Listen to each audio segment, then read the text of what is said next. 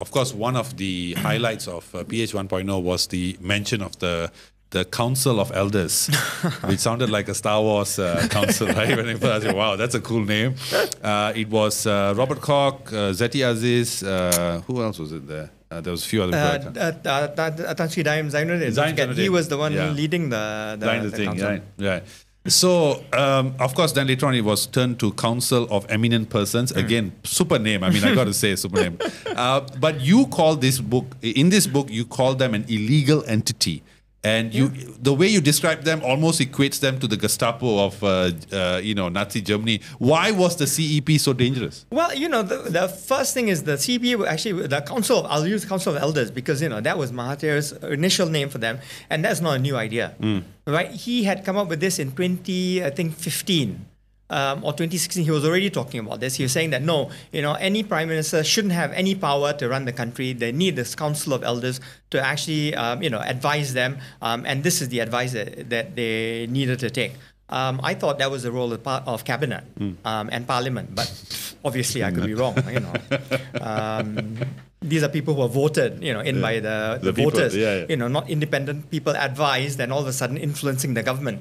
Um, you know, but again, I could be wrong. I mean, you know, I, I don't know. You know. Yeah, yeah. So, so the- why was council eminent persons dangerous? Because they were not set up as an inquiry, uh, you know, by an act, uh, act of parliament. They were not set up by the court. They were not voted in to office. These were all individual people that were all of a sudden appointed to this council that was supposed to help with economic policies, that was supposed to um, assist Mahathir. Then we find out, and I'm not saying this, uh, you read the newspaper reports, then we find out that Tun Daim, sorry, uh, that, uh, that Tan Sri Daim, uh, Tun Daim. sorry, Tun Daim, you're right, that Tun Daim um, then speaks with the Chief Justice and Chief Judge of Malaya. And according to newspaper articles, not me, according to newspaper articles, then instructs them to resign.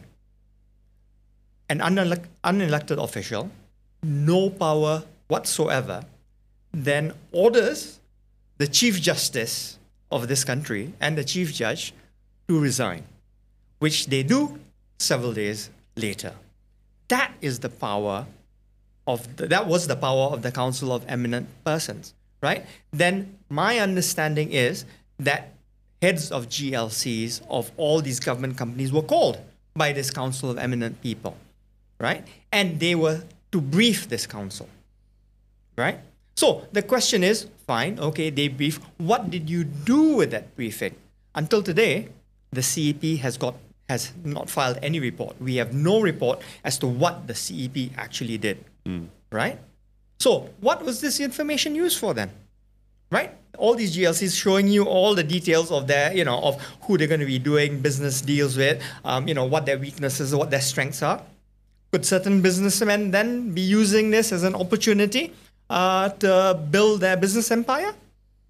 Could I be. don't know. I don't know. I don't know. We'll leave it to know? you to guess. Exactly. Could it? Could, it be I possible? don't know. Read the book to find out the answer. Exactly. Exactly. because exactly. he also names the person that he thinks is that person.